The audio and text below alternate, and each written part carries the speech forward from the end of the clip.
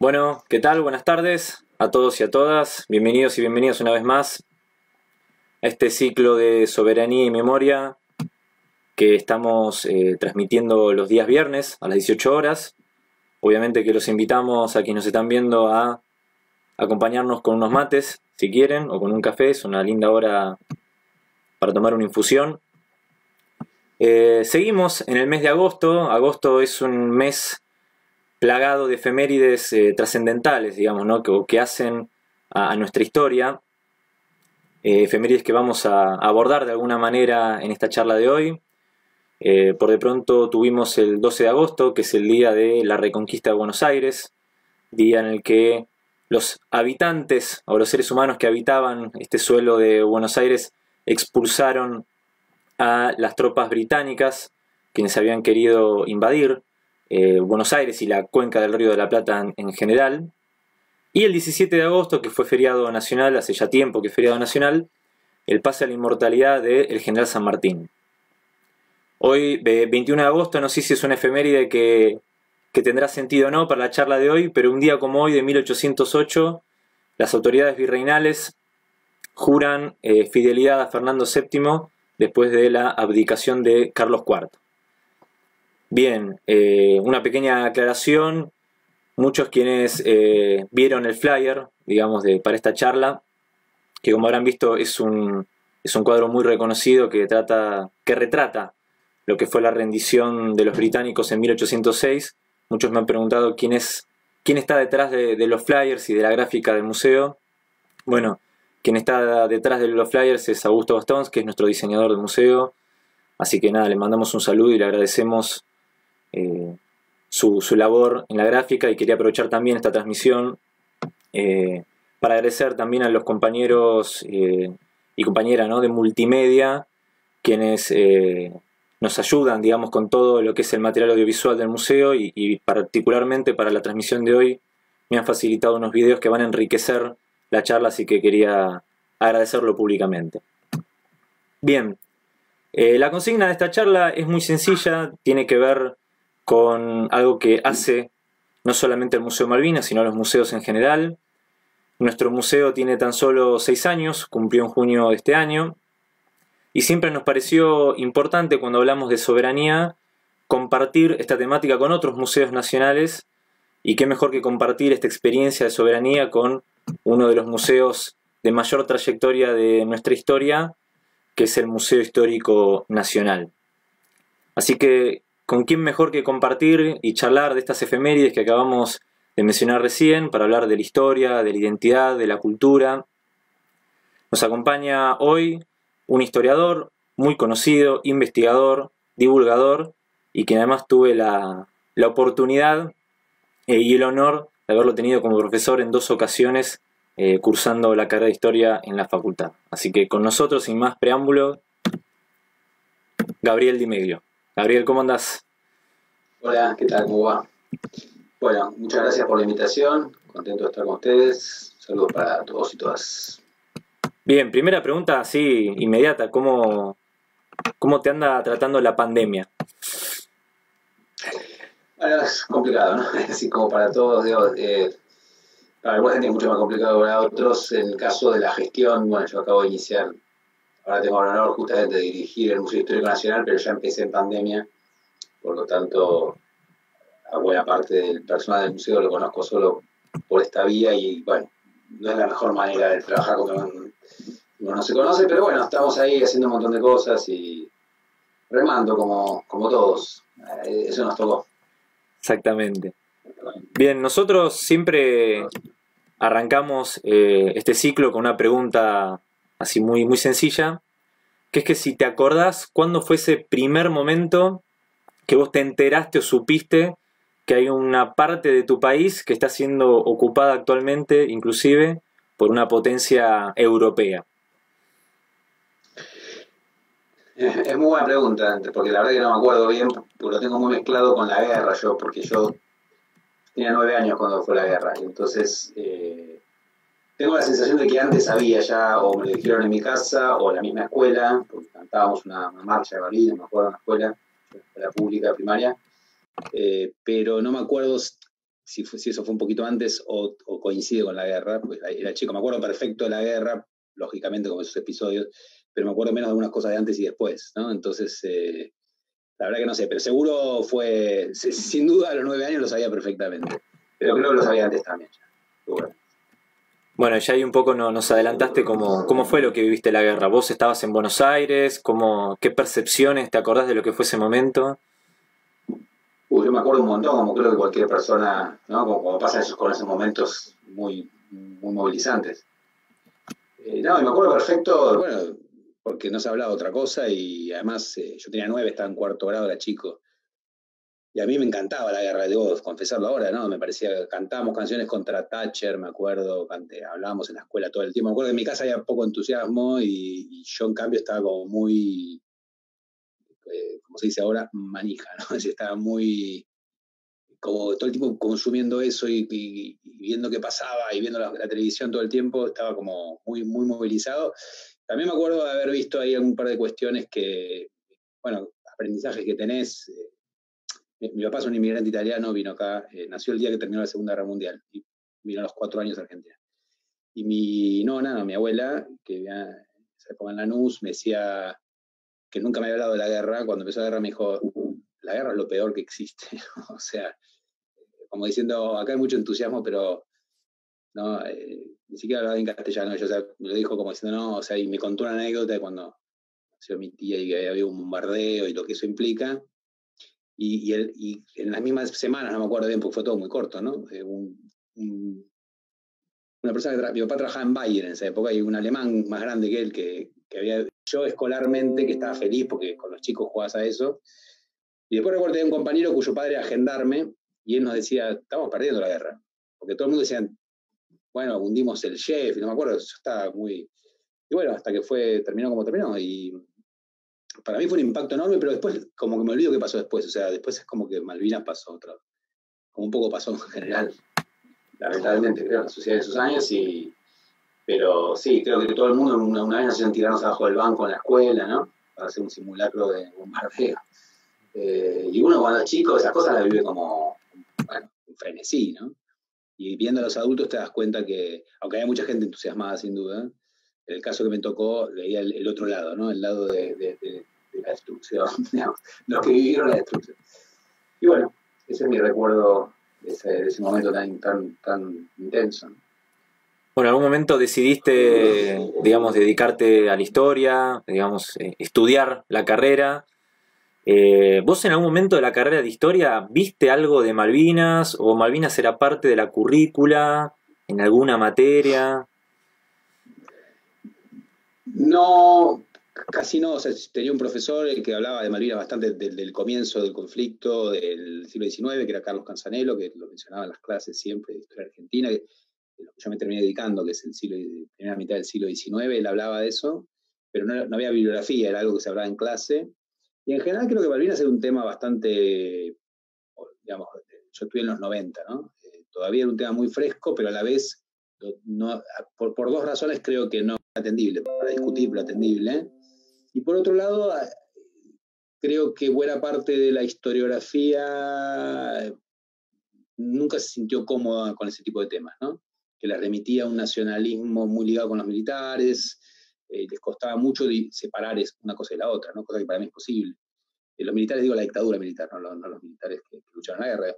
Eh, entonces, bueno, que creo que es uno de los temas que tiene Malvinas siempre presente y que a mí me parece súper interesante, pero bueno, creo que recién con el tiempo viajando mucho por Argentina, que cuando ves que cada pueblo del país tiene algo ligado con Malvinas, la cuestión Malvinas se te hace presente de una manera u otra, ¿no? Es decir, no hay manera de, de eludirla incluso por, quienes prefieren hacerlo, creo yo. Bien, estamos, estaba viendo los comentarios. Eh, nos están viendo desde bueno, Río Grande, Tierra del Fuego, desde Mendoza, desde Buenos Aires, bueno, de Capital Federal también, digamos, de varias provincias eh, del interior, así que la verdad que estamos logrando al menos una transmisión federal, ¿no? que es lo que a veces uno, uno desea. Me alegro, eh, aprovechando un poco, para seguir un, poco el hilo de lo que estabas contando, ¿no? Vos mencionabas la cuestión historiográfica, ¿no? Digamos, la, historia o, lo que serían Quienes se dedican a hacer historias. exactamente, digamos, ¿no? Eh, ¿Vos crees que... Vos mencionaste ahí que hay ciertas corrientes, digamos, ¿no? Que por ahí se sienten incómodos al hablar de Malvinas.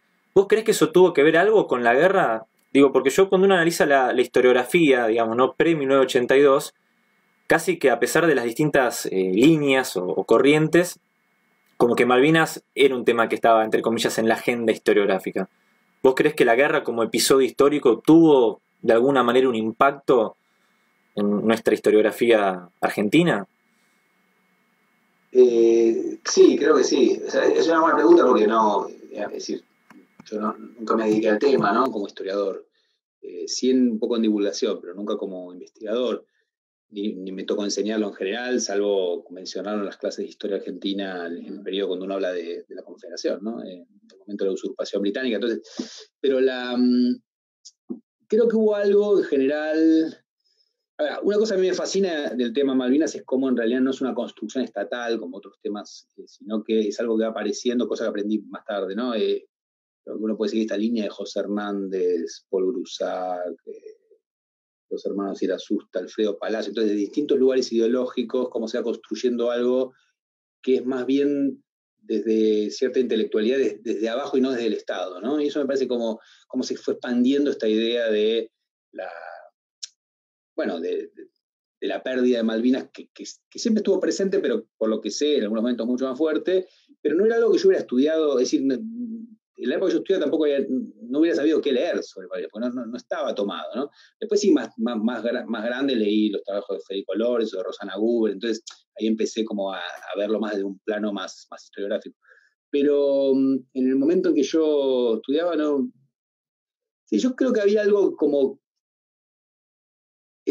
Me parece que para toda la gente que se identificaba con el ámbito de, ideológicamente de, izquierda, de centro izquierda, incluso eh, del peronismo en algunas varias, varias ramas, de lo que se llama progresismo en general, siempre le costó mucho el tema Malvinas, ¿no? decir, en el sentido de que parecía como un tema ligado con sectores de derecha nacionalistas que reivindicaban la guerra, lo cual eh, a mí me parece un error, eh, pero creo que eh, algo de eso era fuerte, ¿no? Los, los tardos 80 y principios de los 90.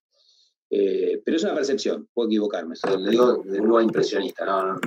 no he estudiado el tema directamente. No, está bien. Eh, y creo que hubo algo de eso, ¿no? Una, dificultad de cómo lidiar con esa cuestión. Me parece que, que pasó eso. Bueno, vos, mencionaste recién los, los 80 y los 90. Eh, digamos, porque uno podría decir que es, esa visión o, o, ver a Malvinas como un tema tabú eh, puede de alguna manera haber cambiado en estos últimos 20 años. No estamos en, 2020, pasaron casi, se van a cumplir 40 años de la guerra. Y creo que una, forma, digamos, de, quitarle, entre comillas, esa carga emocional, digamos, porque haber vivido la guerra fue algo muy duro para toda la sociedad argentina. Pero habiendo pasado cierto tiempo, creo que de alguna manera el Museo Malvinas, incluso hasta como respuesta, y esto está relacionado con la siguiente pregunta, con todos los contenidos que se han generado en Canal Encuentro, Paca Paca, en, estos últimos años, de alguna manera lograron una especie de reenamoramiento de, la cuestión Malvinas, de, la causa Malvinas. Eh, lo que te quería preguntar era cómo fue para vos esta experiencia de, haber participado en Canal Encuentro, en todos los proyectos documentales, como bueno, caudillos, caciques, años decisivos, y por supuesto, eh, para quienes no, lo sabían, eh, Gabriel fue uno de los principales guionistas de Samba. Entonces, eh, quería preguntarle eso, ¿cómo fue esa experiencia? Bueno, yo, por un lado, creo que encuentro en general como proyecto, fue un proyecto maravilloso. Eh, para mí fue un privilegio poder estar ahí, digamos, y hacer programas de historia eh, en ese formato. Fue para mí una experiencia que me marcó a fuego, digamos. creo que además todo cambia tan rápido que hoy en día el la misma lógica de encuentro hace no tantísimos años ya sería diferente, porque hoy en día el tipo de consumo televisivo es otro. En esa época todavía el zapping era el rey de, la televisión, cosa que ya no es, ¿no? Es decir, el consumo por streaming y todas estas cuestiones estaba. Entonces, es tan dinámico el, mundo de, los medios que, es difícil, ¿no? O sea, es como que para mí encuentro ya parece como otra época. De hecho, lo es. Pero, mm, bueno, ahí yo trabajé algunas cosas de Malvinas, un ciclo de cine sobre Malvinas, en, justamente para cuando fue el, aniversario redondo, ¿no? El 12. Eh, hice un programa de efemérides, uno de los primeros que hicimos sobre Malvinas. Ahí aprendí bastante sobre Malvinas haciendo esos programas, debo confesar, sobre la guerra y sobre toda la historia de la causa, ¿no? Eh, y, en, eh, y, en, realidad el programa de Samba sobre Malvinas fue probablemente más difícil de hacer. Y se nota esa tensión si vos ves el programa porque justamente entre, digamos, que era una tensión que había quienes trataban de, digamos, celebrar más la gesta, digamos, como lo llamaban, de Malvinas, más, separada de la, de la, situación de la dictadura, eh, y quienes no, no, como lo veían, no, sin separar una cosa de la otra, es decir, lo cual para mí es un debate fascinante realmente y que si vos miras ese programa, porque después Samba hizo otro, que es una visita al Museo de Malvinas, yo ya ahí no estaba en Samba, en 2012 justamente fue mi último año como guionista. Ahora volví en este momento, pero después hace ocho años que no estoy Y en, el programa de Malvinas se nota mucho que hay distintas perspectivas entre quienes lo hicimos. Eh, y creo que es un buen documento de época también, para ver lo que los debates en ese momento que después, bueno, un poco, digamos, terminaron resolviéndose a partir de la propia acción de la, por entonces, presidenta de la Nación, ¿no? Eh, con el informe Rattenbach, digamos, y todo lo, lo, que hizo en ese momento Cristina Fernández de Kirchner. Pero poco antes, esto que se hizo se hizo antes, entonces eh, yo creo que es interesante para ver, a veces uno ve en un, en un producto cultural las marcas de su momento, ¿no? no solo habla de Malvinas, sino que habla de las discusiones sobre Malvinas a 30 años de la guerra. No, la verdad que sí, eh, muy interesante y es, y es interesante esto de ver, digamos, como cada documento histórico, ya sea en formato audiovisual o escrito, también es un testimonio de época. La verdad que eso es algo muy, muy interesante y también para reflexionar de que bueno, que estamos en 2020, pero la realidad nuestra hoy en día es distinta a la de 2010, 2012. Eh, o, realmente es notable, sí. Eh, hay una gran diferencia. Y, discutimos feo, ¿eh? o sea, nos llevamos muy bien, de todo, pero digo, pero, no, fue el menor, quiero decir, era, era difícil. Tengo un poco de recuerdo ahí. Bien. Eh, a quienes nos están viendo, aprovechamos también, ¿no? y sobre todo a quienes se están sumando ahora, los invitamos a hacer clic abajo, digamos, en el botón de compartir esta transmisión para que se compartan en sus perfiles personales y de esa forma generar un efecto multiplicador de difusión. Así que quienes están viéndonos, los, invitamos a compartir también eh, la transmisión. Eh, si te parece, eh, Gabriel, y de paso a quienes nos están viendo, vamos a ver un pequeño corto ¿sí? de un fragmento de un video que es parte de nuestra muestra permanente del museo donde abarca, digamos, ¿no? las invasiones inglesas. Y después de ver ese video, eh, vamos retomando un poco con la charla ya más eh, dedicada a la historia del siglo XIX. 1806, 25 de junio, primera invasión inglesa. Como parte del plan colonialista británico, el capitán William Beresford desembarcó en las costas de Quilmes. Tras escasos combates, Inglaterra ocupó el 27 de junio la ciudad de Buenos Aires y el virrey Sobremonte huyó. Santiago de Liniers juntó a una férrea resistencia de milicias urbanas conformadas por porteños. Cruzó desde la banda oriental y reconquistó la ciudad. 1807, 4 de julio, segunda invasión inglesa. En febrero de 1807, los británicos llegaron con refuerzos, bloquearon los puertos y tomaron Montevideo. Los porteños acordaron en cabildo abierto la destitución de Sobremonte y Santiago de Liniers defendió la ciudad. Los ingleses sitiaron Buenos Aires el 4 de julio y 9.000 milicianos de todas las clases sociales resistieron al embate, algunos arrojando agua hirviendo sobre los invasores. 1807, 7 de julio la rendición. El capitán Whitelock se rindió en Buenos Aires. Tras la derrota, el Reino Unido buscó otras formas de conquista del territorio argentino, pero esta vez a través del dominio político y el control de la economía nacional, lo que generó un largo periodo de dependencia. 1824. La primera deuda externa. El proceso de endeudamiento externo comenzó cuando el gobernador de Buenos Aires, Martín Rodríguez, por sugerencia de uno de sus ministros, Bernardino Rivadavia, tomó deuda con la compañía bancaria inglesa Baring Brothers. 1833, 2 y 3 de enero. Los británicos usurpan las islas. La usurpación de las Islas Malvinas no sería la última agresión militar del Reino Unido a territorio argentino. 1840-1845. El bloqueo anglo-francés. El líder de la Confederación Argentina, Juan Manuel de Rosas, resistió los bloqueos de Francia y el Reino Unido, que buscaban la libre navegación de los ríos para poder controlar el comercio. 1845, 20 de noviembre. Combate de la Vuelta de Obligado. El combate conocido como la Vuelta de Obligado, pese a haber sido una derrota táctica, fue el antecedente de una victoria diplomática frente al Reino Unido, que reconoció que la navegación del río Paraná era de la Confederación Argentina. Más que interesante ese fragmento del video, ese video forma parte de nuestra muestra permanente eh, del museo. Y bueno, vamos a usarlo también como disparador y de paso para quienes nos están viendo. Y bueno, algo que hablamos al principio, que es que el, 12 de agosto es una de las tantas efemérides, digamos, de nuestra historia, eh, porque se recuerda lo que fue la reconquista de Buenos Aires de 1806. Ahí bueno, te quería preguntar, eh, Gabriel, eh, ¿por qué es un hecho tan particular? ¿Cuál es la particularidad que tiene lo que fueron las invasiones inglesas, lo que fue la reconquista, lo que fue la defensa? no solo como hecho histórico en sí, sino también que es parte de tu especialidad, los sectores populares, ¿no? Digamos, qué rol tuvieron cómo fue cómo se fue gestando todos esos hechos históricos. Bueno, eh, en primer lugar, aprovecho digo un comentario nada más que es que hay una intervención británica anterior, ¿no? todavía, en el Río de la Plata, eh, en 1763, durante lo que llamó la Guerra de los Siete Años, que es una especie de gran guerra mundial, ¿no? que se peleó a la vez en, en América del Norte, en la India, en Europa y acá, donde un ejército, una flota, en realidad una, una escuadra anglo-portuguesa eh, intentó tomar Colonia, Sacramento, y fue derrotada por el gobernador de Buenos Aires, que se llamaba Pedro de Ceballos, que después fue el primer virrey años más tarde. Pero esa fue la primera, en realidad la, primera entrada británica en el Río de la Plata, ¿no? que terminó en derrota británica.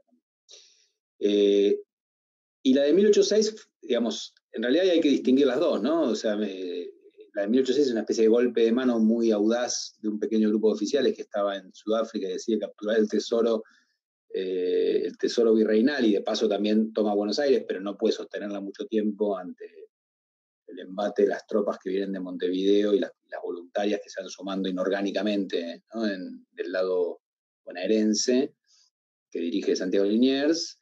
Y la segunda sí es una invasión en toda regla de un ejército muy grande y esa victoria que obtiene la ciudad Buenos Aires, al mando de Álzaga, ¿no? El Martín de Álzaga, el,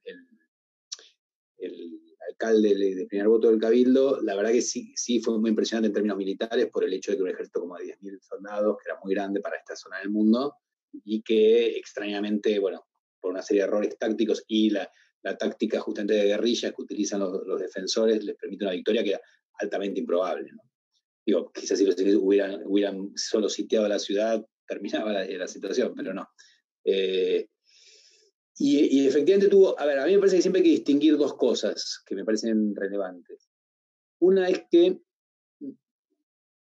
todavía es una victoria española, ¿no? Es decir, por, un lado, y por otro lado genera algo nuevo. Española en el sentido que la gente termina en ambos triunfos y los dedica al rey, y grita viva el rey, grita viva España. Entonces es llamativo pensar en eso y que pocos años después van a estar peleando contra el rey, eh, y eso es lo que va a generar la Revolución de Mayo, que pasa con las revoluciones, acelera el tiempo modifica el panorama, pero unos años antes, cuando, están, cuando triunfan sobre los británicos, triunfan, es una victoria celebrada en todo el imperio español. Eh, que todavía el ejército español la pone entre sus, entre, sus, entre sus victorias, por más que efectivamente el grueso de quienes pelearon ahí fueron los habitantes locales, o en la primera invasión también los que vinieron de Montevideo. Eh, tuvo efectos muy importantes igual disruptivos para, para el imperio español. Dos, me parece que son fundamentales y que aparte que ocurren después de la primera invasión y que han trabajado distintos historiadores. Uno es el hecho de que hay un cabildo abierto, lo menciona el video, pero, pero primero ya en 1806 hay un, cabildo abierto que obliga a que el virrey Sobremonte, quien considera un cobarde de la ciudad, no pueda volver a Buenos Aires, y también nombra eh, a, a, Liniers jefe de armas. ¿no? Y al año siguiente, cuando cae Montevideo en la segunda invasión en manos de los, de los británicos, eh, es este virrey que menciona el video que destituye, perdón, el cabildo abierto que destituye a ese mismo virrey. Eh, y ahí es un hecho muy disruptivo porque una ciudad no puede destituir un virrey. Es decir, el virrey lo dirige el rey, por lo tanto, en la lógica de la monarquía están haciendo algo que no pueden. Y por otra parte, la formación de cuerpos milicianos voluntarios eh, que se forman bien al estilo sociedad colonial, ¿no? Patricios, que son los que viven en la patria, la patria es Buenos Aires en ese momento, o la patria es siempre la, el lugar en que uno nació, los arribeños, que son los que vienen de arriba, del norte, eh, pardos y morenos separados de los demás, porque es una sociedad, digamos, jurídicamente racista, ¿no? es decir, donde hay desigualdad de acuerdo al color de piel, eh, y después los, tercios de los españoles de acuerdo a su lugar de origen también. Eh, esa estructura que es buena, en buena medida son los varones de la ciudad en armas, que muchos, o 7.500 milicianos de una ciudad que tendría unos 45.000 habitantes, realmente es un montón de gente, si uno piensa en términos proporcionales, le da a la ciudad algo muy importante, que es un, ejército propio, miliciano, es decir, no de soldados profesionales, sino de, vecinos armados, que eh, se va a convertir en un factor de poder muy, muy fuerte en la ciudad y que, si bien no están pensando para nada, porque no hay nadie diciendo, salvo uno o dos que vieron lo, a los ingleses como una oportunidad de independencia, pero que nadie lo siguió y de hecho tuvieron que ir al exilio, como Saturnino Rodríguez Peña. El resto eh, piensan todavía dentro de la monarquía, pero cuando años después las situaciones cambian y se genera revolución, eh, ese esa, esa, milicia va a ser la base del ejército revolucionario y por lo tanto llevar a Buenos Aires inicialmente una ventaja sobre otros, sobre Córdoba, por ejemplo, cuando hay una contrarrevolución allá. Eh, lo, llamativo del caso para cerrar es que varios de los héroes de la, reconquista y la defensa, que incluso los nombres de la ciudad se cambian para homenajearlos, van a ser después contrarrevolucionarios y mueren fusilados. Liniers en 1810, Alza en 1812, eh, justamente pasando de, la gloria al fusilamiento en muy poco tiempo. Eh, y ese es el cambio justamente que se da a partir de la revolución. Pero sin duda las, las invasiones para Buenos Aires, y no solo para Buenos Aires, por el impacto que tuvieron a nivel general, fueron dos acontecimientos totalmente disruptivos ¿no? para el Río de Vos hablabas de ese cuerpo de milicias, ¿no? Eh, de que había, digamos, para lo que es en términos demográficos, la población de ese entonces había una participación altísima en este cuerpo de milicias. Eh, ¿Se podría decir, digamos, no lo sé, eh, de que de alguna manera ese rechazo hacia los británicos fue de alguna manera una cuestión popular, digamos, ¿cómo fue la participación de lo que hoy historiográficamente llamamos los sectores populares de, esos hechos. Sí, sin duda fue una... A ver, participó toda la sociedad, ¿no? O sea, y de hecho hombres y mujeres pelearon en, la defensa, tanto en la, en, la, en la, reconquista como en la defensa. Eh, fue muy fuerte la, la movilización que eso generó. En general, bueno, por un lado los, los británicos eran el enemigo tradicional de España ya hace mucho tiempo, digamos. Eh, durante el siglo XVIII hubo un montón de guerras eh, entre estas dos alianzas, ¿no? los franceses aliados con los españoles y los portugueses aliados con los ingleses. Entonces, eh, portugués e inglés eran como el enemigo clásico para cualquier habitante de, de estos territorios y en Buenos Aires en particular o en Montevideo eso era, estaba siempre presente porque la amenaza de la invasión portuguesa o la lucha con los portugueses era permanente y con los ingleses en toda la monarquía. ¿no? Eh, además, en la década de 1790 se había, la monarquía hace un cambio que empieza a pedir donaciones de la gente para, para luchar contra Inglaterra, y, hay un montón de gente que pone plata, incluso gente que no tiene mucha plata. Entonces había algo muy antibritánico, además eran considerados herejes protestantes, una sociedad que en esa época era unánimemente católica, ¿no? Eh, en el Río de la Plata. Entonces sí, había digamos, nadie quería a los británicos acá, y entonces, eh, pero digo, menos que por una lógica local o por una lógica de algo que todavía no existía, que era la identidad argentina, que una lógica hispana, ¿no? Digamos, del enemigo tradicional de los, españoles. Eh, en ese sentido, pero sí participa, es notable, hasta los esclavos luchan por sus amos, digamos, en ese momento, muchos con el objetivo, después lo piden cuando termina la, la, eh, eh, piden la libertad a cambio de los servicios prestados en la lucha, pero digamos, es, diría que un buen resumen de la sociedad porteña peleando ese momento. ¿no? no, es interesante lo que mencionas porque uno ve en, incluso en los medios de comunicación, cuando aparecen efemérides como lo que fue, el, bueno, en este año el bicentenario de Manuel Belgrano, lo que fue el, el 20 de junio, está siempre esta discusión latente que es muy propia de la historiografía respecto de, bueno, cuándo la Argentina es Argentina, ¿no? Que es como una especie hasta de pregunta filosófica, ¿no? Desde qué momento nace la, existencialidad de Argentina. Pero por lo que vos estás describiendo en, el relato, digamos, de lo que fueron esos acontecimientos, al menos los habitantes, digamos, quienes estaban en Buenos Aires a principios del siglo XIX, tenían claro por lo menos que no eran británicos. Digo, uno puede decir que la Argentina es una identidad en formación dinámica que se va construyendo, pero era claro que no eran británicos, por decirlo de alguna forma. Sí, que no eran británicos y también que no... Eh, también era conciencia que no son españoles, ¿eh? o sea, porque en realidad eh, una cosa que era muy clara era que, es decir, era la identidad, esto ha sido bien trabajado, ¿no? Hay gente que tenía una identidad local muy fuerte, ¿no? La patria, que era para los patricios, son los de Buenos Aires, así como los patricios montevideanos eran los montevideanos, y americanos dentro del imperio español, pero la identidad americana sí existía, ¿no? en el sentido de que eran de segunda clase respecto a los europeos, que es una de las cosas que va a eclosionar en 1810. Es decir, no es que eh, había mucha tensión entre americanos y europeos, eso sin duda. Eh, lo cual no implica que en ese momento eh, no primara más la fidelidad del rey. Lo que sí había, que, que eso sí para mí es difícil de, de separar para nosotros en la actualidad. Una cosa era una oposición a España, pero lo que no había era la oposición al rey de España, que no es lo mismo, ¿no? Es decir, había el, rey era un principio mucho más respetado y había muchas broncas con los españoles, por decirlo de una manera, que, contra el rey, que eso no, tenemos nada percibido. De hecho, el proyecto de 1810 es muy claramente lo que de la Junta de 1810 pretende dejar de depender de España, manejar su propio gobierno, su economía, etcétera, pero no romper con el rey de España la idea es hacer una monarquía federal, ¿no? En la cual cada territorio americano sea igual a España, deje de depender y el rey sea como el gran coordinador, que justamente es como después fue el Imperio Británico, ¿no? Australia, Canadá, se, gobiernan a sí mismos, pero mantienen un rey o una reina sobre ellos. Y eso creo yo, eh, creo yo que fue, mm, que fue muy importante, digamos, que, jugó un papel fuerte y, a nosotros nos cuesta mucho entender desde la actualidad que en un país con tanta tradición republicana los reyes nos dan un poco de risa en general. O sea, como que decimos, todavía tienen rey, como una rémora del pasado. Pero en esa, digo, pero e, eso es una de las grandes rupturas de esa época, es dejar de tener un rey, ¿no? Y eso no, no fue tan sencillo, eh, pero la fidelidad del rey era muy fuerte. Y cuando la gente gritaba viva el rey, pensaban eso, realmente lo creía, no era que lo hacía para, digamos, porque, porque se lo pedían. Era, había, había una, una cuestión realista muy, muy fuerte en toda la sociedad de la época.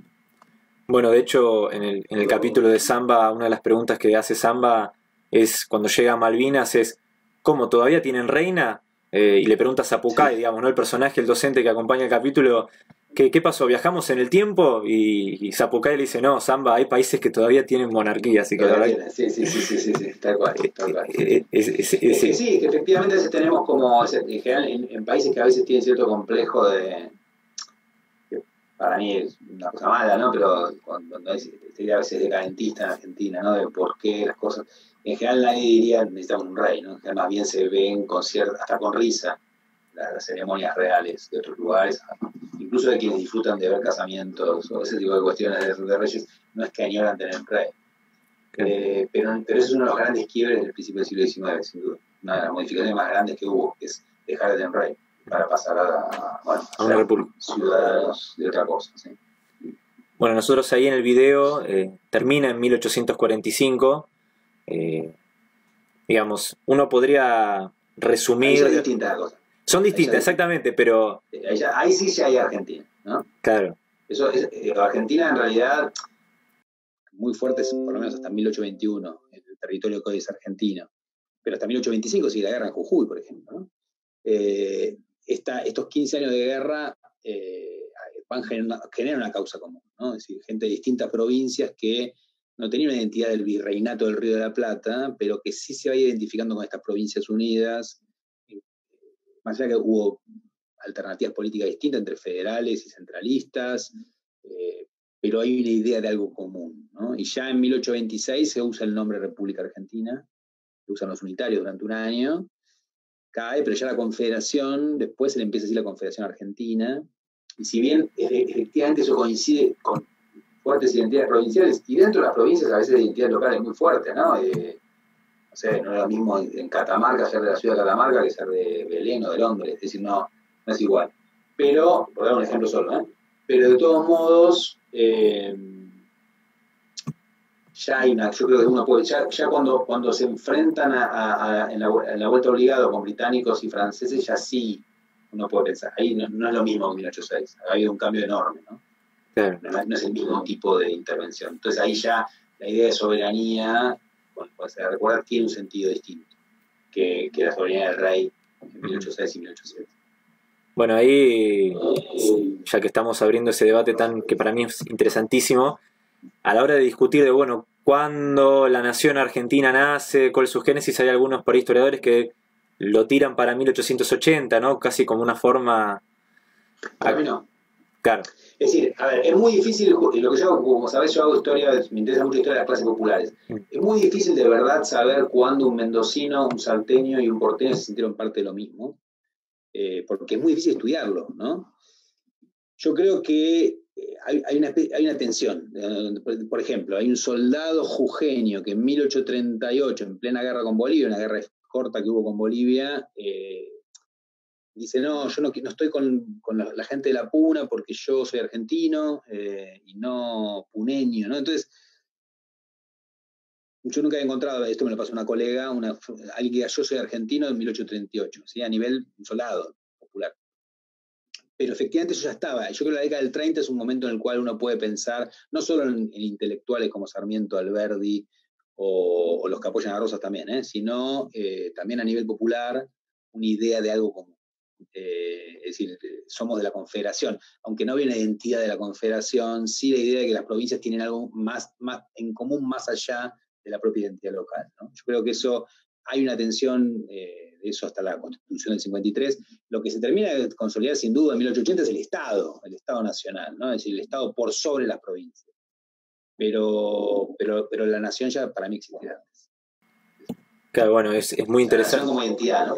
Sí, sí, es muy interesante esa aclaración porque, bueno, después de la guerra de Malvinas, y esto lo hemos charlado en este ciclo, Digamos, en la década del 60, eh, cuando surge la resolución 2065, la discusión era estrictamente jurídica dentro del marco de las Naciones Unidas.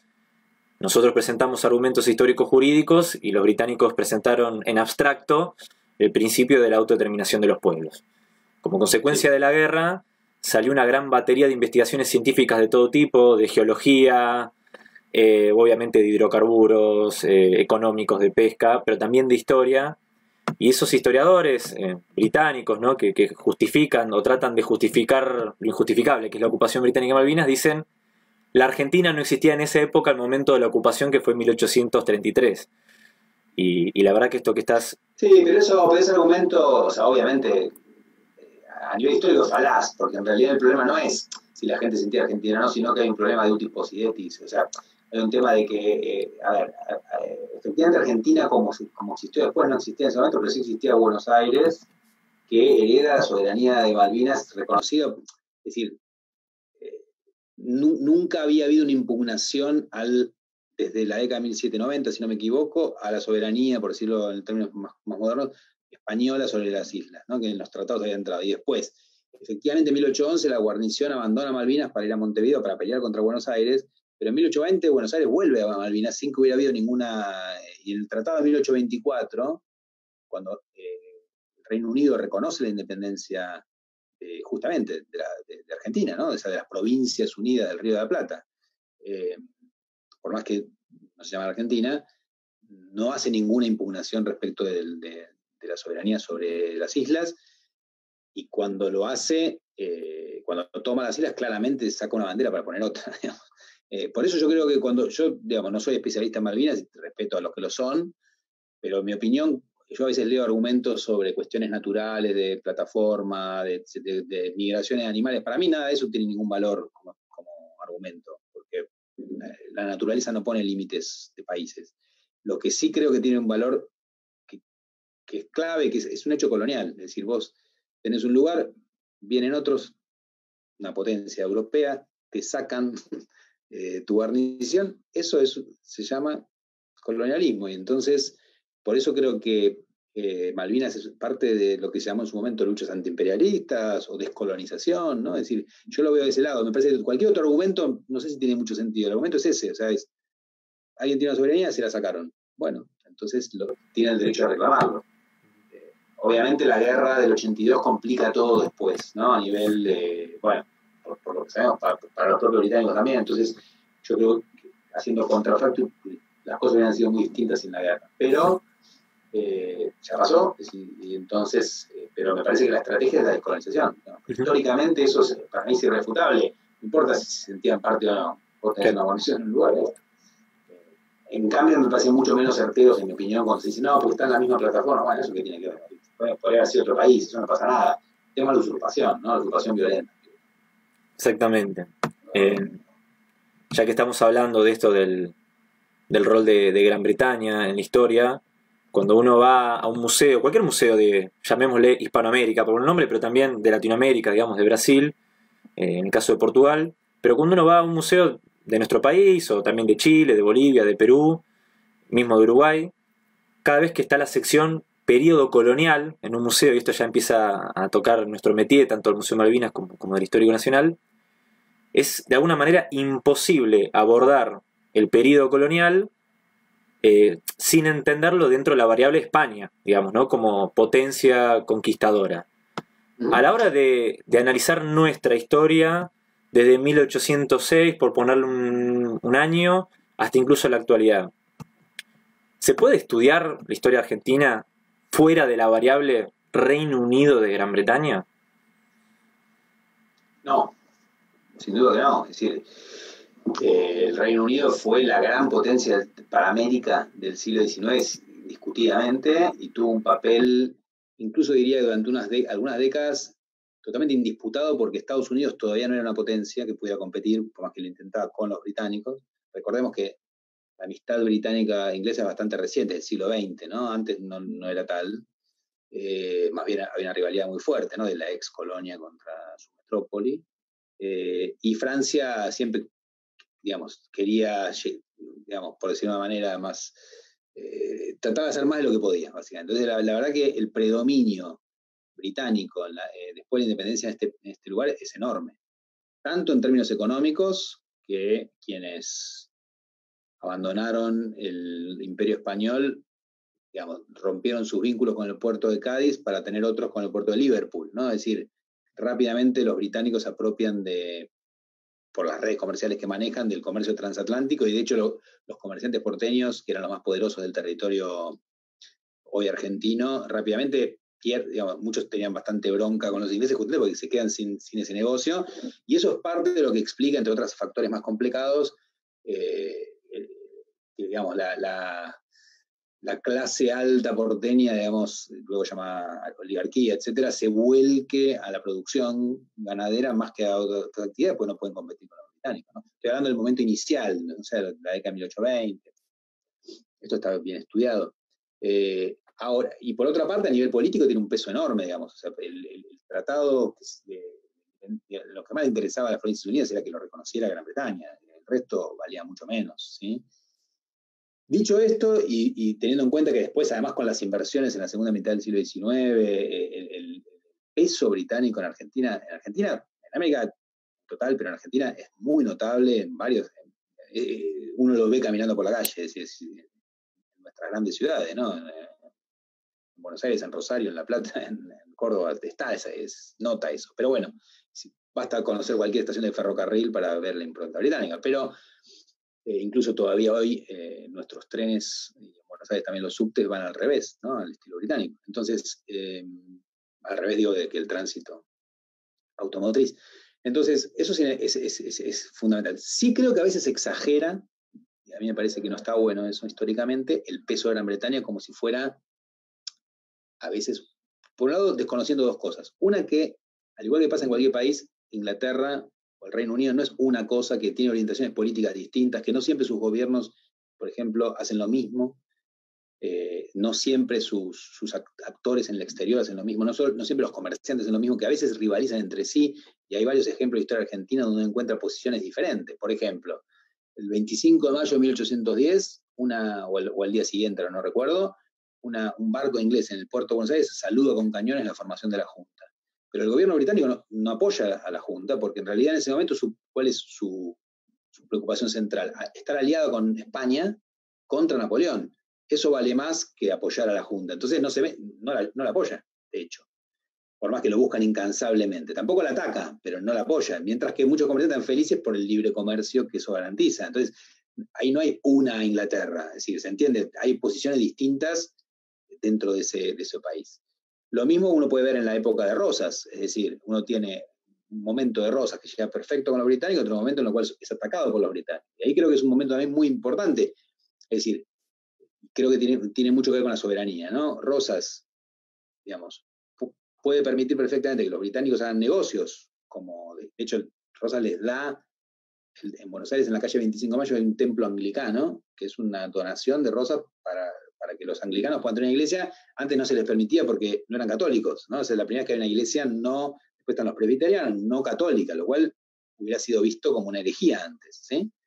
Eh, y de hecho, cuando Rosas se exilia en Inglaterra, precisamente, cuando entra al puerto finalmente, los comerciantes locales lo saludan a cañonazos por, porque se llevaron bien con él. Entonces, y, el Parlamento se enoja y los reta. Entonces uno dice, ¿por qué lo saludan? Bueno, porque para Rosas la parte económica no era un problema en la relación con Inglaterra, sí la parte política. Entonces lo que él no estaba dispuesto a permitir era que les dijeran qué hacer políticamente, que se metieran con la soberanía política.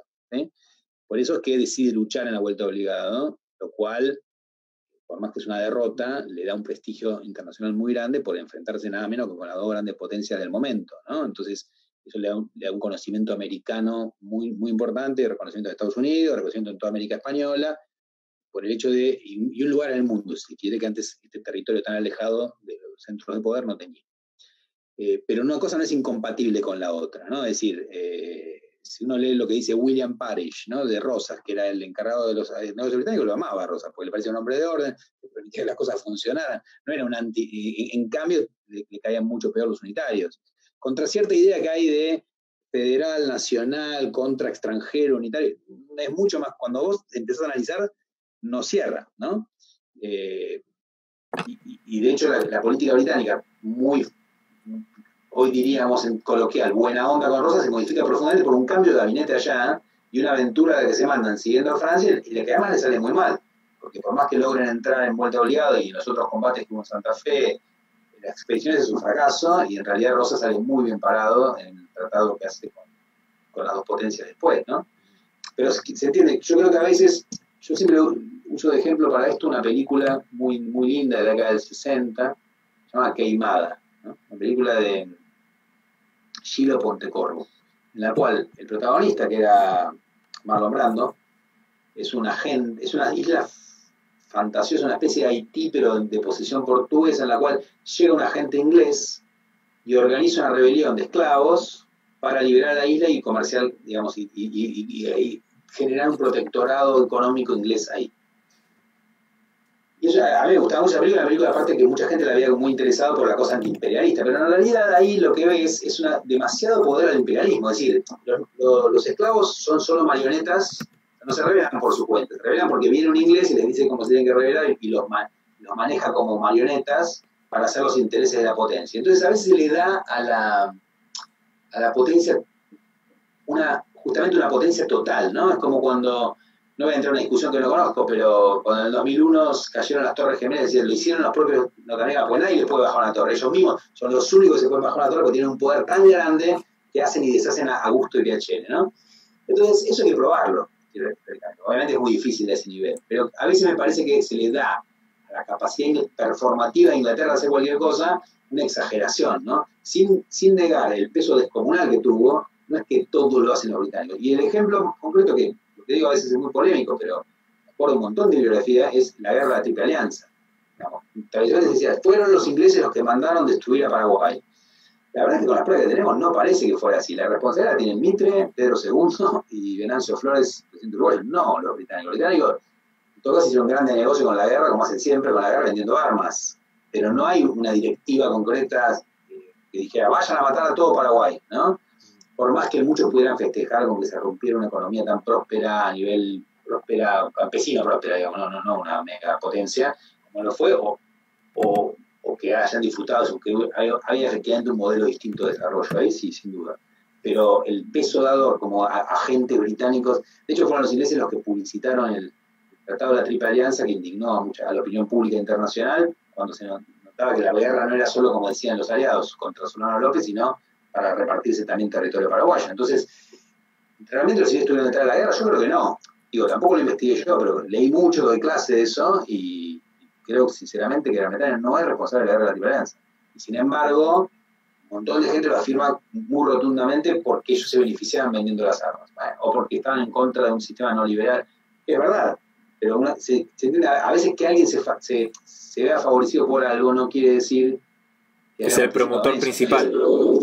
Claro, digo, Juan Manuel de Rosa, ¿se vio beneficiado políticamente por la muerte de Facundo Quiroga? Sin duda. ¿Tuvo que ver su muerte? No. de hecho, eran amigos, o sea, eran aliados. Lo que pasa es que efectivamente consigue mucho políticamente a raíz del miedo general que eh, se, puede haber visto favorecido políticamente, no quiere decir que sea parte de esto, ¿se entiende? Es decir, en la historia la contingencia juega un papel también. No, todo está pregrabado por mentes ocultas, ¿no? Pero que a veces con la masonería pasa lo mismo. Fueron los masones, ¿no? Como si, siempre que no se puede explicar algo, hay una conspiración más. Bueno, eso hay que probarlo, ¿no? Si no podemos probarlo, es. Es el capítulo de los magios de los Simpsons. Exactamente. Pero eso es, muy fuerte, ¿eh? A veces, charlando de historia, la gente cree a veces en realidad una reunión secreta en la cual tres cráneos comunales planeando. No es que eso no existe, las conspiraciones existen. La jabonería de Gates. Si uno cree, por ejemplo, es el problema cuando vos haces historia diplomática. Si vos le crees a veces los planes los diplomáticos, a veces uno decía, los franceses pensaban crear una monarquía, pero eso qué asidero tenía. todo tipo que se, entusiasmaron hablando entre ellos, pongamos un rey, no tuvo nunca ningún apoyo local, ¿se entiende? Entonces, a veces, por eso, los documentos en historia hay que usarlos con mucho cuidado. Bien, eh, entre otras cosas, bueno, ya mencionamos cómo fue alguna manera tu trayectoria en Canal Encuentro, como de alguna manera divulgador de la historia y, creador de, material de estudio, digamos. Cualquier docente hoy en día de los distintos niveles necesariamente usa el material de Canal Encuentro, pero luego pasaste a lo que fue la, gestión propiamente dicha de un museo, que fue la, experiencia de eh, ser el director del, del Museo del Cabildo y la Revolución de Mayo. ¿Cómo, cómo fue esa experiencia, no solo desde el punto de vista de la gestión, sino como historiador, digamos, ¿no? en términos de por esas discusiones que se pueden dar, eh, porque no deja de ser un, museo histórico. Bien, mira, a mí lo que me pasa, yo, desde que empecé a trabajar, de, a vivir de, la historia, es decir, a, ser docente, después tuve la suerte de ser investigador, eh, siempre me obsesionó mucho una cuestión que comparto creo que con algunos compañeros también, que es cómo unir puentes entre lo que se llama la historia académica, que tiene algunas cosas muy buenas, buenas preguntas, muchas veces cosas muy interesantes de discutir, pero siempre critiqué que está muy enclaustrada, muy, muy discusión entre especialistas y por lo tanto abandonaba la, charla con el resto de la sociedad, ¿no? Eh, entonces, y, viceversa, muchas veces critiqué que a veces quienes ocupaban ese lugar no, no, no se actualizaran leyendo lo que. Es en lugar de hablarle a la sociedad, de hacer una historia de lo que llamamos hoy en día de divulgación, eh, no aprovecharan todo lo que se produce en las universidades para, digo, salir. ¿Viste? Cuando, cuando alguien está leyendo un libro escrito sobre un problema 50 años después que se escribió, decís, bueno, pero ya no es la misma Argentina, ¿no? Es decir, es, difícil encontrar respuestas en un libro escrito hace 50 años, por más que el libro sea magnífico, pero ya lo tenés que leer también como algo de la época en que se escribió. Entonces, eh, para mí siempre hay un problema, incluso político, diría, ¿no? En mi opinión. Pero, mm, entonces, para mí siempre la obsesión fue el tema de unir puentes, ¿no? O sea, puentes entre el mundo académico, me parece que tiene cosas muy interesantes, y además que creció mucho en la década del 2000, con una financiación estatal muy grande en todo el país, universidades nacionales nuevas, es decir, eh, hoy a nivel historia estamos en otro lugar, ¿no? A nivel producción. Y, eh, bueno, el mundo de afuera, ¿no? Es decir, el mundo de, real, por decirlo manera. Y creo que eh, para mí cada encuentro fue parte de, esa experimentación y el mundo de los museos a mí me parece un lugar particularmente fascinante, ¿no? Por dos razones. Por un lado, porque, y esto creo que recién empezó a cambiar hace poco, porque por alguna razón quedó muy disociado del resto. Entonces, muchos museos históricos seguían teniendo discursos de la década del 40, como si la historia no cambiara, ¿no? Entonces vos tenés un mundo profesional académico que avanzó un montón en un montón de problemáticas y eso en los museos no, estaba, y creo que un poco es culpa de ambos mundos, ¿no? No, de uno de los dos en particular, hay, una falta de total interés de parte de los historiadores, historiadores etcétera, o universitarios, por los museos, por lo más mínimo, eh, además de que tenemos una tradición en historia de trabajar mucho con documentos escritos y poco con objetos, que es lo que uno encuentra en, museos, lo cual me parece un problema.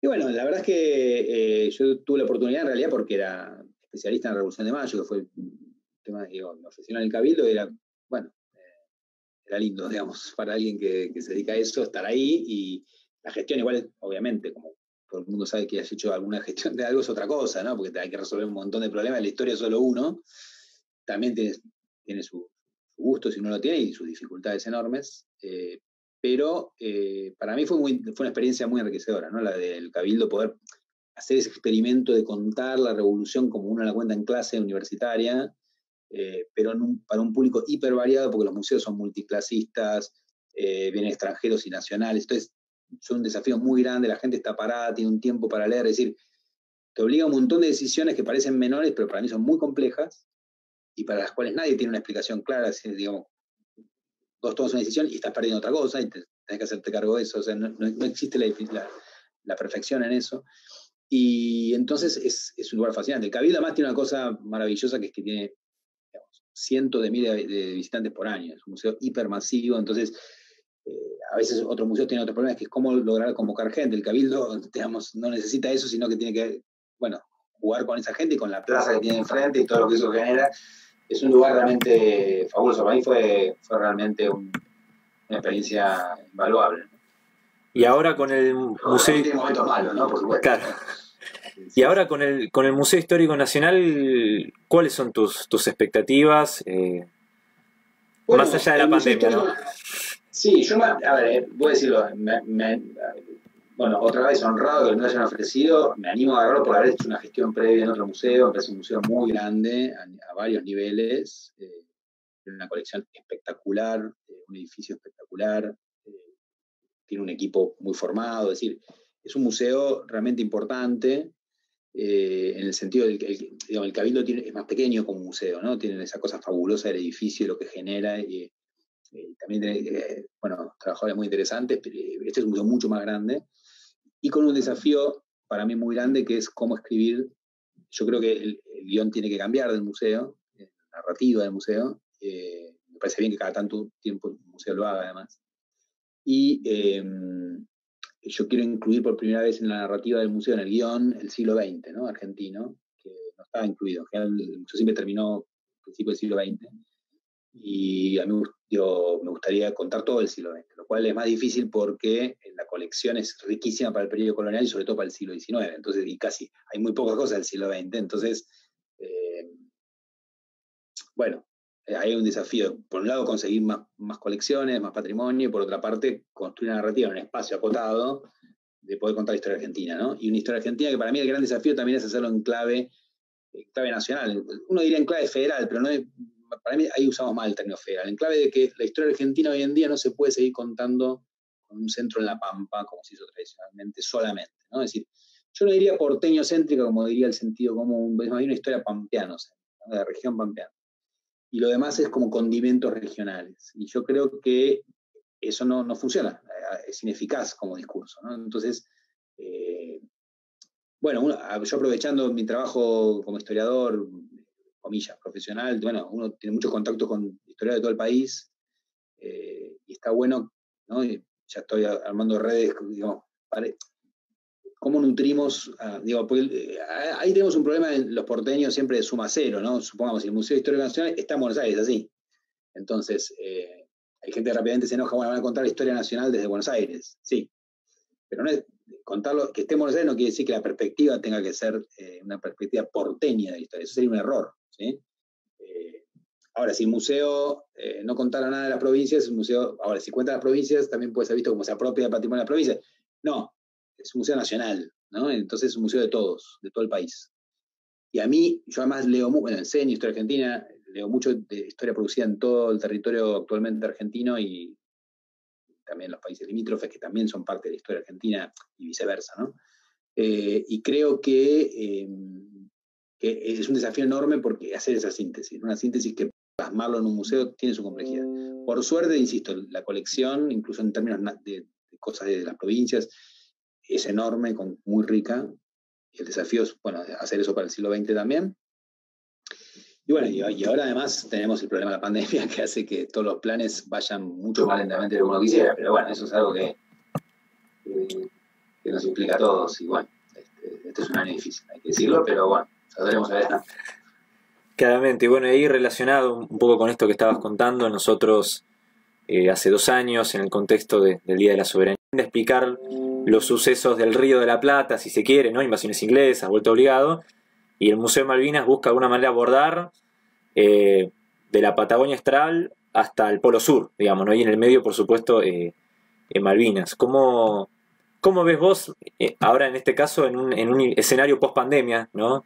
Eh, ¿Cuáles son los desafíos que tenemos los museos del Ministerio de Cultura, eh, no solo para articular entre sí, sino para abordar estas cuestiones que tienen que ver con la soberanía, digamos, en, distintos ámbitos, ya sea lo identitario, lo cultural, lo económico, lo político? ¿Cómo ves vos ese escenario? Bueno, eso es uno de los grandes problemas, digamos, el problema en buen sentido, digo, desafíos más, que problemas, ¿no? Es decir, yo creo que efectivamente me parece buenísimo que los museos crucen entre ellos los museos nacionales y no solo los nacionales, sino también, eh, provinciales, municipales, privados. Em, creo que, em, a ver, el, caso concreto del histórico tiene algo que tiene como esa posibilidad muy compleja de, tener que trabajar sobre un todo, ¿no? Porque a mí lo que me pasaba en, en, el, en el cabildo era que, bueno, yo, además que yo soy especialista en eso, una cosa es contar un problema, ¿no? La Revolución de Mayo y la Guerra de Independencia. Otro, el tema Malvinas. Que es un tema enorme, pero uno puede acotarlo de una manera. El Museo Histórico Nacional es el tema de, bueno, ¿cómo cuento la historia argentina? Eh, tenés que dejar cosas afuera, elegir. Entonces yo creo que ahí tenés un desafío que, que, también contás la independencia, también contás Malvinas. Eh, por ejemplo, para mí uno de los temas es, el museo tiene por suerte un pequeño patrimonio sobre Malvinas, contar la guerra de Malvinas también. Eh, contar la, historia de Malvinas como parte, pero no aparte, ¿no? sino como parte de la historia nacional. Eso es lo que decía con respecto. Cuando, cuando me refería a, un museo nacional que, tenga justamente una multiperspectiva, Malvinas es parte de eso también. ¿no? Em, pero bueno, creo que ahí cualquier museo encara un montón de, temas interesantes a discutir, ¿no? ¿Cómo contás un tema? Por cuestiones temáticas, por cuestiones cronológicas. Ambas posibilidades son, son válidas tenés que tomar una decisión con tu equipo, ¿no? Eh, y, obviamente yo creo que, un museo hoy en día tiene más que pensar en, por un lado tiene que dar, un, esta es mi opinión, ¿eh? un discurso histórico muy claro, en el sentido de eh, informado profesionalmente, actualizado, que, que además no mitifique, ¿no? que no cree falsas historias. Porque una cosa que me preocupa a mí a veces es que de golpe empiezan a circular historias que no son, ¿no? Eh, no sé, hace poco escuché a un diputado diciendo que Belgrano en la semana de mayo le había puesto el cuchillo al virrey para obligarlo a... Eso pasó en tu imaginación, o sea, digo, puede haber sido muy, sería muy épico, pero no pasó. Entonces, tenemos que tener mucho cuidado con eso, ¿no? No, construir historias que no existen, porque no, hace falta, la historia es fascinante, no hace falta inventarle agregados de ficción. Pero mm,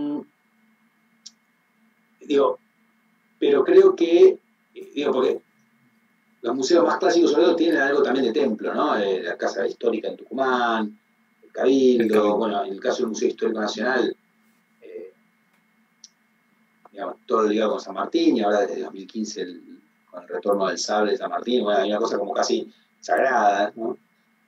Puede pasar en Malvinas con la propia cuestión Malvinas, ¿no? Es decir, este, entonces yo creo que eh, yo respeto cuando eso pasa, es decir, a mí me parece que si yo veía gente que lloraba de entrar al cabildo porque le movilizaba cosas infantiles o cosas parecidas, me parece bárbaro. No creo que esa tenga que ser la misión necesariamente del museo, ¿no? Sino, bárbaro quiere decir en el sentido que hay, que respetar lo que pasa. Eh, más que exaltar valores patrióticos, para mí el museo lo que tiene que hacer es contar la historia, ¿no? Contar la historia de una sociedad eh, que tiene que ver con su, que, su historia, ¿no? Y, y en ese sentido también interactuar con ella. Entonces, creo que toda la, museología moderna, con toda la, que piensa las maneras de interactuar con el público, logra algo interesante. No en tanto la elaboración del discurso histórico, porque en realidad eh, ahí sí yo creo en una profesionalidad, ¿no? Pero sí en que, en que hay preguntas que, que, son abiertas, ¿no? Es decir, que, por ejemplo, incluso qué es la soberanía, ¿no? ¿Qué es ser argentino? Argentina, o sea, todo eso son cosas que se pueden rediscutir para bien. Cada tanto hacerlo, digamos, eh, hace bien, hace bien a una, comunidad.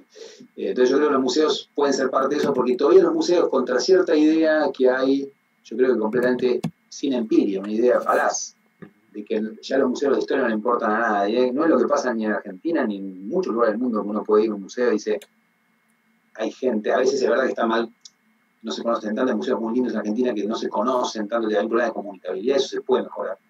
Pero yo creo que los museos tienen una tiene algo fascinante todavía que, ocurre ¿no? que, que, y sobre todo tienen mucha credibilidad.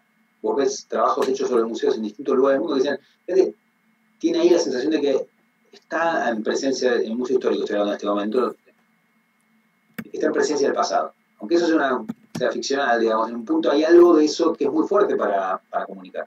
Eh, cuando vos ves, no sé, el Museo Histórico Nacional me pasa que vos vas y decís, están las goleadoras con las cuales bajaron el caballo del general Paz en 1831 y terminó la guerra civil. Esa goleadora, que Tania López, le regala Rosa, diciéndole, con esta goleadora, terminaron la guerra. No, es una goleadora, son las goleadoras que terminaron la guerra, ¿no? O el sable eh, San Martín. ¿Cómo? O el sable San Martín. Ya ni hablar, totalmente. Pero te, digo incluso piezas un poco menos conocidas. Sí, todo lo de San Martín. Es decir, eh, las cosas de Belgrano, las cosas de Urquiza, de Rosas, de. No, no pero de Mariquita Sánchez, es decir, un montón de personajes muy famosos, muy fuertes, eh, de Perón, ¿no? Este, que están ahí. Y, y, más allá de los grandes héroes y estos grandes personajes, eh, eso tiene un valor muy fuerte. Y también el problema es cómo visibilizas, o sea, cómo haces una historia de quienes, como digo yo siempre, no tienen el nombre de calle, ¿no? No, dejaron un sable porque no, tenían ninguno, o sea, pero también son protagonistas de la historia, ¿no? Es una historia, una acción colectiva, entonces eh, eso me parece que a veces te obliga a otro tipo de recursos que no necesariamente tengan con la colección, pero que sí los tenés que tener presentes, entonces hoy en día, eh, digamos, que, Argentina reconoce que no es algo sencillo en un país que tiene todo el mito tan fuerte, país blanco, ¿no? Eh, país hijo de inmigrantes, pero como si la única inmigración hubiera sido la, gran inmigración europea, tan importante en Argentina, sin duda, ¿no? De fin del siglo XIX, principio del siglo XX, pero también, eh, digamos, reconocer otras matrices de la sociedad argentina, eh, indígena, la, la, afro, que además son evidentes, ¿no? implica también incorporar eso en, un relato de historia que no sean solamente como márgenes, lo mismo que todas las reivindicaciones a partir del enorme peso del movimiento feminista de los últimos años, obligan de la buena manera a replantear un montón de las de la, de manera de mirar la historia, ¿no? Y eso tiene una potencia tan grande que es que no tiene que ver con, con, el hacer historia, pero sí con que la sociedad pide otras cosas. Y como decía, justamente una historia en inglés, a mí me gusta mucho, ¿no? Christopher Kiel decía, bueno, el pasado no cambia, pero el presente sí. Entonces, las preguntas que ser el pasado cambian de acuerdo al presente, es así. Eh, digo, vos no puedes tergiversar lo que pasó en la Revolución de Mayo o lo que hizo San Martín. Lo que hizo fue así, te guste o no, ¿sí? Pero sí puedes interpretarlo de otra manera, sí puedes hacer otras preguntas a eso, ¿no? Sí puedes pensar, como me preguntaban el otro día, ¿y quién le tejía los, la ropa de San Martín? o sea, y ahí tenés un montón, generalmente mujeres, a veces los nombres los tenés, a veces no, pero que también están ahí. O para que San Martín pudiera cruzar los Andes, tenía un ejército de soldados pobres, analfabetos que no dejaron su no nos dejaron sus uniformes porque se los gastaban hasta que no les quedaba nada y se convertían en descamisados, como se decía en la época, eh, o eh, que murieron en el campo de batalla, pero sin embargo, sin esa gente no hay, no hay independencia. ¿no? Entonces, esas historias son fundamentales. esto no lo digo yo porque me haya dedicado a estudiar eso, sino porque efectivamente sin eso no comprender la historia. Creo yo que los museos tienen esa obligación, en mi opinión, de, de, de salir del héroe, que está bien y es necesario, para hacer historia colectiva. Bien, bueno, Gabriel, la verdad, muchísimas gracias por tu aporte, por esta charla. La verdad que hemos eh, aprendido muchísimo. Digamos, todos los comentarios que estoy viendo acá en vivo han sido más que positivos. Han quedado en el tintero varias, varias preguntas que, bueno, quién sabe, quizás en el ah. futuro podamos... Pero yo eh, no la vi, no, la- no había la pregunta, si no voy a... pero- Bueno, preguntaban, bueno, una cortita era, bueno, ¿cuál era el vínculo de Rosas con, con Malvinas? Por ejemplo, han, han preguntado. eh, eh, Bueno, Ro- Rosas, lo contesto en un segundo, Sí. Rosas eh, reclamó por Malvinas, ¿no? Es decir, no... Esto ocurrió antes de Rosas, ¿no? O sea, el, el interregno, digamos, entre sus dos gobiernos, en el gobierno de Balcarce, pero la... mm, eh, la Cancillería, no sé si decía Cancillería, coherente del tiempo fue reclamo. ¿Sí? Y ya empieza con... No- nadie se desentendió de eso. Algunos gobiernos estuvieron más presentes que otros, pero es una continuidad, diría yo, de la política argentina eh, de, de relaciones exterior. Y eso empieza con Rosas muy claramente. Es, es real que la importancia no... Para Rosas hay un montón de problemas más urgentes ¿no? que, que, que Malvinas, pero no, no lo dejó pasar. Bien, buenísimo. Bueno, eh, Gabriel, nuevamente, muchísimas gracias. La verdad que ha sido más que entretenida. Eh, tuvimos una gran, gran audiencia de todas partes de las provincias. Así que nada, desde el Museo Malvinas eh, también estuvo el director Edgardo Esteban presente en esta, en esta transmisión. Te, te damos las gracias. Así que bueno, Bueno. quien dice que no, no podamos replicar eh, este encuentro eh, con otros temas también variados de nuestra historia, que bueno, como vemos decís, es más que interesante. Sí, sí, con Edgardo hemos hablado de hacer cosas en conjunto en el futuro, así que bueno, esperemos que pase un poco esta, esta coyuntura y que se pueda, seguiremos para adelante. Y bueno, saludo para todos, para todas y gracias por todo. Bueno, bien, para quienes todavía están ahí presentes, eh, nos vamos a encontrar el viernes que viene, también a la misma hora. Vamos a tener una transmisión especial y particular, 26 de agosto. El miércoles que viene es una fecha muy importante para nuestra historia, tiene que ver con el levantamiento del gaucho Rivero. Así que probablemente se van a encontrar con la transmisión del viernes que viene que vamos a abordar eh, esas cuestiones y esos episodios tan interesantes de nuestra historia. Así que por mi parte me despido. Nos vemos el viernes que viene a la misma hora por más de este ciclo Soberanía y Memoria.